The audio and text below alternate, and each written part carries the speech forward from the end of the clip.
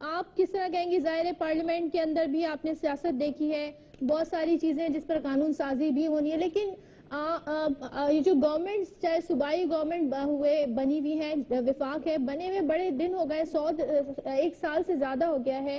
अब तक कोई क्लियर पॉलिसी है आप समझती हैं इस दहशत गर्दी से लड़ने के लिए आपको आपके इल्म में है? हो सकता है मेरे इल्म में ना हो पलवशा।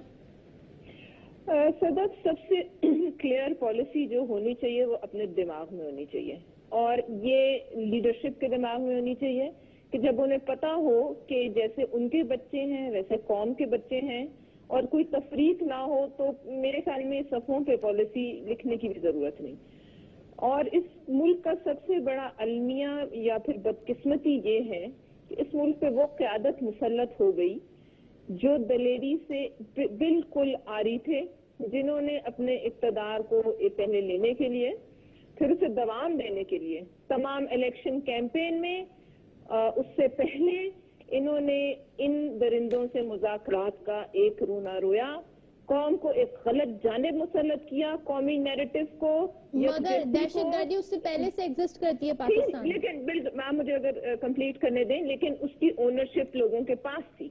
इन्होंने लोगों को गुमराह किया कंफ्यूज किया। इस बेसिस पर एक इलेक्शन हुआ। अब आप ये देखिए कि वो जो इलेक्शन है, यहाँ रेहान हाशमी साहब की बात बिल्कुल सौ फ़ीसद सही है। अगर वो जमातें जो उस वक्त अपनी लाशें उठाती रही इलेक्शन कैंपेन के दौरान, आज अगर वो ये कहें कि इस इलेक्शन की बुनियाद ही गलत थी, जहाँ सिर्फ़ अब आपको समझ आ रही होगी खुल के कि इलेक्शन की बुनियाद ये थी कि वो जमातें जो इन तालिबान के खिलाफ एक मौकफ रखती हैं, उनको मारो, उनको आगे ना आने दो तो आपको सारी कहानी खुल के सामने आ जाएगी।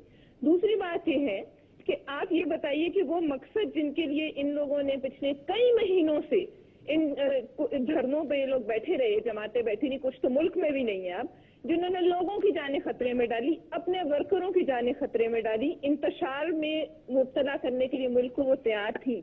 लेकिन अब क्या वजह है कि एक धरना, एक चूं भी वहाँ से नहीं आती? और क्या वजह है कि इतने महीने वहाँ एक फुलझड़ी नहीं फूटती और एमक्यूओ का जलसा हो या पीपल्स पार्टी का जलसा हो या ए एन पी का कोई ऐसा जलसा हो तो वहाँ से लोग लाशें उठाते हैं, चाहे बशीर बलोच की उठाए, चाहे हम्म। बेनजीर भुट्टो की उठाएँ हम्म। चाहे एमक्यूएम के वर्कर्स की उठाएँ इसकी ये आप क्यों नहीं डिबेट करते कि ये क्या वजूहत थी कि यहाँ बगैर किसी सिक्योरिटी के कैपिटल के दिल में ये लोग बैठे थे एक फुलझड़ी नहीं फूटी क्यों क्या मौकफ था और क्या वजह है क्या वजह है कि ये और इनकी इस, इस बात का एहसास क्यों नहीं होना चाहिए कि इनके गलत फैसलों की वजह से इनके अंदर बुजदली और दलेरी की कमी की वजह से कि इन्होंने वक्त पे ये काम ना किया और दहशत गर्दों और जालिमों को इन्होंने जालिम ना कहा और मजलूमों को इन्होंने मजलूम ना कहा। ठीक है मेरा सवाल अभी भी है। पूछिए अभी भी इनसे पूछिए हम्म।